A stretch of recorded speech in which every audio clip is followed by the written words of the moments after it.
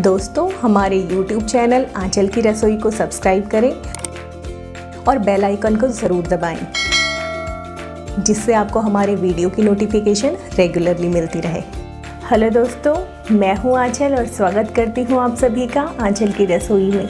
दोस्तों, आज का वीडियो होने वाला है जन्माष्टमी स्पेशल तो सबसे पहले आप सभी को कृष्ण जन्माष्टमी की बहुत बहुत शुभकामनाएँ।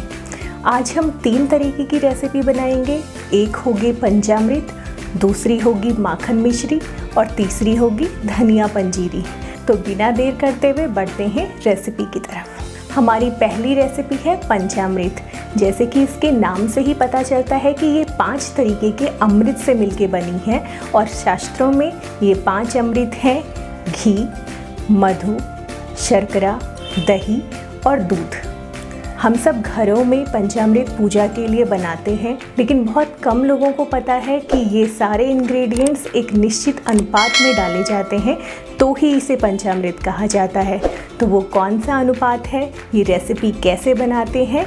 आइए हम सीखते हैं। पंचामृत बनाने के लिए हमें चाहिए घी, शहद, शर्करा या चीनी, दही और दूध। शास्त्रों में पंचामृत बनाने के लिए एक निश्चित नियम बनाया गया है।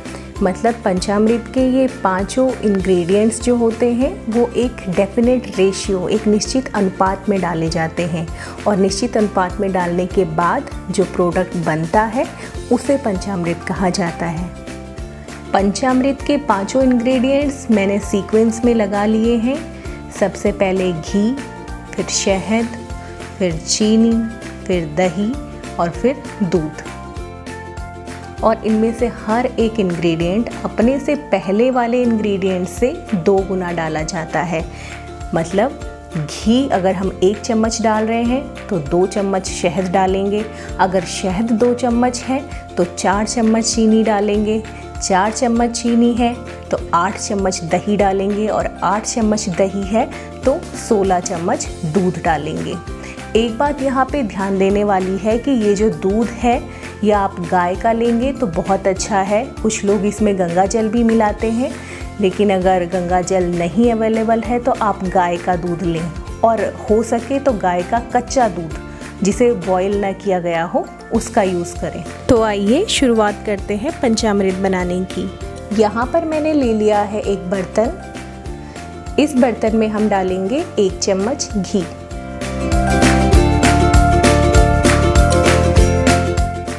मैंने एक चम्मच घी यूज़ किया है तो मैं दो चम्मच शहद डालूँगी।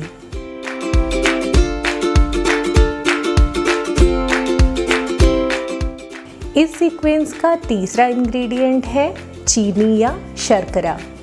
मैंने यहाँ पे ब्राउन वाली शुगर यूज़ की है, ये चीनी की प्योरेस्ट फॉर्म होती है।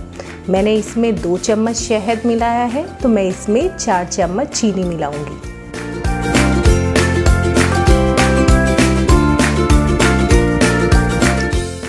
अब हमारा अगला इंग्रेडिएंट है दही।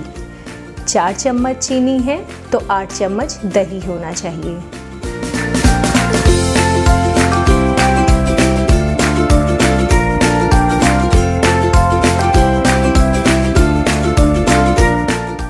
इस सीक्वेंस का लास्ट इंग्रेडिएंट है दूध। इसमें मैंने आठ चम्मच दही डाला है तो इसमें मैं सोलह चम्मच दूध डालूँगी।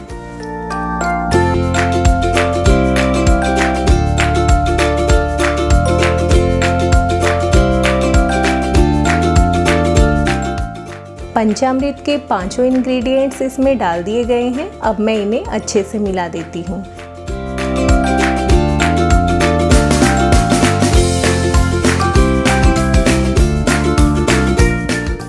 तो पंचामृत बनकर तैयार हो गया है।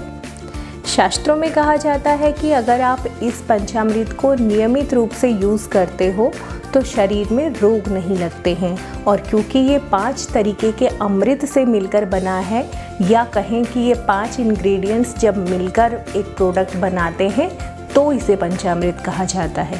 एक और ज़रूरी बात, भगवान का भोग या तो धातु के बर्तन में रखा जाता है, या तो कांच के बर्तन में। इसके लिए प्लास्टिक का यूज़ नहीं होता।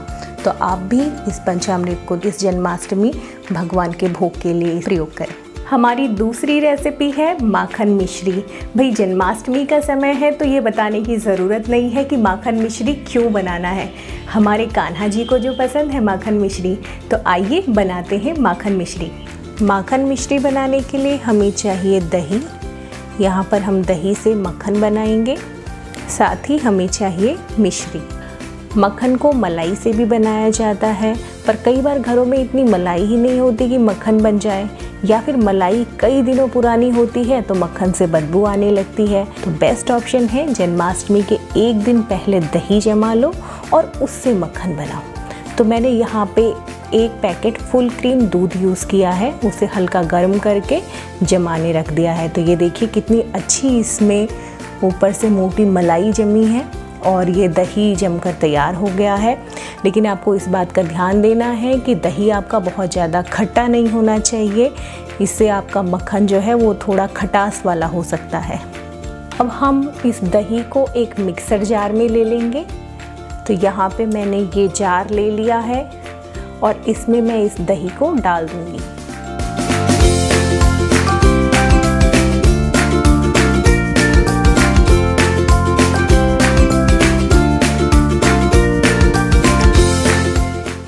अब मैं इसे ग्राइंड करके इसमें से मक्खन बनाऊँगी। तो ये मैं इसका ढक्कन लगा देती हूँ।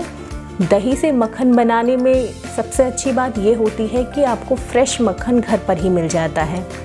ये देखिए दोस्तों, मैंने इसको चला लिया है मिक्सी पे और मक्खन बनकर तैयार हो गया है। ये देखिए ऊपर मक्खन है और नीचे ये हमारी जो है छाछ अलग हो गई है।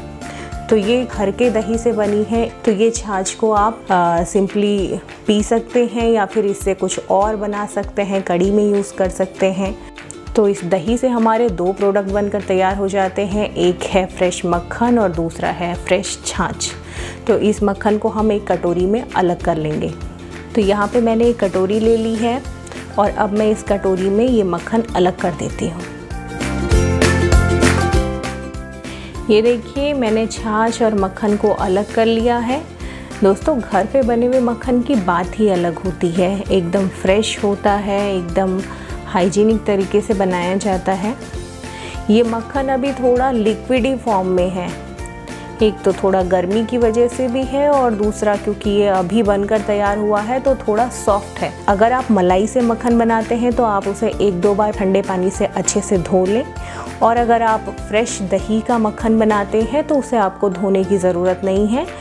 अभी हम इसमें मिश्री मिक्स करेंगे तो इसका सॉफ्ट होना ज़रूरी है। तो अब इस मक्खन में बारी है मिश्री मिलाने की। यहाँ पे मैंने जो मिश्री ली है, ये धागे वाली मिश्री है। इसे मिश्री की प्योर फॉर्म बोला जाता है। तो इस मिश्री को मैं ग्राइंड कर लूँगी और इसका एकदम बारीक पाउडर बना दूँगी, जिससे ये मक्खन के साथ अच्छे से मिल जाए। तो ये देखिए, मैंने मिश्री को एकदम महीन पीस लिया है। अब हमें जितनी मिठास पसंद है, या हम कहें कान्हा जी को जितनी मिठास पसंद हो, आप उस हिसाब से मक्खन में मिश्री मिला दें। तो ये मैंने यहाँ पे मक्खन रखा है और ये मिश्री है। और मैं इसमें डेढ़ चम्मच मिश्री मिला दूँगी। क्योंकि मक्खन एकदम सॉफ्ट है अभी तो मिश्री को मिलने में कोई परेशानी नहीं होगी। तो ये मैंने मक्खन में मिश्री मिला ली है। अब मैं इस मक्खन को फ्रीजर में थोड़ी देर जमने के लिए रखूँगी ताकि ये हल्का सा सॉलिड फॉर्म में आ जाए। तो ये देखिए, हमने इसे फ्रीजर से निकाल दिया है और ये थोड़ा सा हार्ड हो चुका है। और अब ये बिल्कुल तैयार है तो लीजिए घर पर बने फ्रेश मक्खन से बनी रेसिपी माखन मिश्री तैयार है कान्हा जी को भोग लगाने के लिए। और हमारी तीसरी रेसिपी है धनिया पंजीरी। धनिया पंजीरी मंदिरों में प्रसाद के रूप में अर्पण की जाती है। तो आइए हम भी घर पर बनाते हैं धनिया पंजीरी की रेसिपी धनिया पंजीरी बनाने के लिए हमें चाहिए लगभग एक कटोरी धनिया पाउडर, लगभग एक कटोरी घी, आधा कटोरी पीसी हुई चीनी, थोड़ा सा ड्राई फ्रूट्स, थोड़ा सा सौंफ। तो दोस्तों, मैंने यहाँ पे कढ़ाई ले ली है और इसे मैंने गैस पर रख दिया है। इसे मैंने मीडियम फ्लेम पर रखा है और इसमें हम सबसे पहले थोड़ा सा घी डाल देंगे। तो ये घी अच्छे से मेल्ट हो गया है। अब इसमें हमने ये जो ड्राई फ्रूट्स रखे हैं, इनको थोड़ा सा भून लेंगे। गैस की फ्लेम को अभी मैंने एकदम लो रखा है। आप ड्राई फ्रूट्स को सीधे काट कर भी डाल सकते हैं या कूट कर भी डाल सकते हैं। और ड्राई फ्रूट्स को अगर हम भून कर डालें तो उसमें थोड़ा अच्छी सी खुशबू आ जाती है, जिस वजह से हम इसे भूनते हैं। तो अब ये हल्के भून चुके हैं। अब मैं इन्हें इस प्लेट में निकाल दूँगी। तो ये मैंने ड्राई फ्रूट्स भून कर अलग कर लिए हैं। अब मैं इस कढ़ाई में थोड़ा सा घी और डालूँगी और इसमें धनिया पाउडर को भून लूँगी। ये जो हमने धनिया पाउडर रखा है, इसे हम इसमें डाल देंगे। और इसे एकदम लो फ्लेम पर चलाते हुए अच्छे से भून लेंगे। धनिया पंजीरी को जन्माष्टमी में प्रसाद के लिए बनाया जाता है। इसके पीछे एक कारण है। जन्माष्टमी वर्षा ऋतु के टाइम पे आती है और रात को 12 बजे कृष्ण जन्म के बाद प्रसाद लिया जाता है। और ये टाइम कुछ भी खाने के लायक नहीं होता। ये पंजीरी स्वादिष्ट होने के साथ साथ कफ और वात के दोष को नहीं बढ़ाती। जबकि अगर आप आटा की पंजीरी बनाते हैं तो वो स्वास्थ्य के लिए थोड़ा सा गड़बड़ कर सकती है। तो इसलिए इस टाइम पे धनिया की पंजीरी बनाने का आप इसे रिवाज भी कह सकते हैं या फिर परंपरा कह सकते हैं। तो देखिए, ये धनिया भुनकर तैयार हो गया है। इसका कलर भी चेंज हो गया है और इसमें से बहुत अच्छी खुशबू भी आने लगी है। तो अब हम गैस की फ्लेम को बंद कर देते हैं और इसे एक प्लेट में निकाल लेते हैं। अब हम इसमें बाकी के जो इंग्रेडिएंट्स हैं, वो मिलाएँगे। सबसे पहले हम इसमें डालेंगे पीसी हुई चीनी।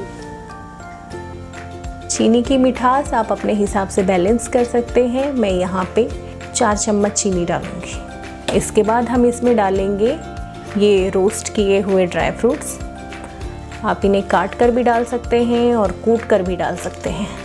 और अब हम इसमें खुशबू के लिए सौंफ का यूज़ करेंगे।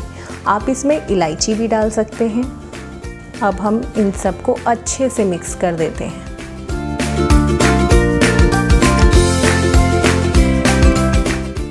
ये देखिए, इसमें सारे इंग्रेडिएंट्स अच्छे से मिल चुके हैं। तो पंजीरी लगभग बनकर तैयार हो गई है। अब इसमें बारी है उस फाइनल इंग्रेडिएंट की, जिसके बिना ये पंजीरी भोग के लिए नहीं जा सकती। तो वो स्पेशल इंग्रेडिएंट्स हैं तुलसी के पत्ते। जी हाँ जब भी हम विष्णु भगवान को या बोले कान्हा जी को भोग लगाते हैं तो पंजीरी में तुलसी के पत्ते डालना ज़रूरी होता है। और ऐसा माना जाता है कि अगर आप इसमें तुलसी के पत्ते डालते हैं तो ये भोग कान्हा जी या हरि जी जिनको कहते हैं, विष्णु जी, उनको सीधे लग जाता है। तो धनिया पंजीरी का प्रसाद बनकर तैयार है। तो इस जन्माष्टमी कान्हा जी को धनिया पंजीरी का भोग लगाकर प्रसन्न करें। अगर आप हर बार लगाते हैं तो बहुत अच्छा है, अगर नहीं लगाते तो इस बार इस रेसिपी को ज़रूर ट्राई करें। दोस्तों, अगर आपको कृष्ण जन्माष्टमी स्पेशल ये रेसिपीज़ पसंद आई हो तो इस वीडियो को लाइक करें कमेंट करें शेयर करें। मिलते हैं आपको अगली वीडियो में। तब तक अपना ध्यान रखिए और जन्माष्टमी मनाइए पूरे हर्षोल्लास के साथ। धन्यवाद।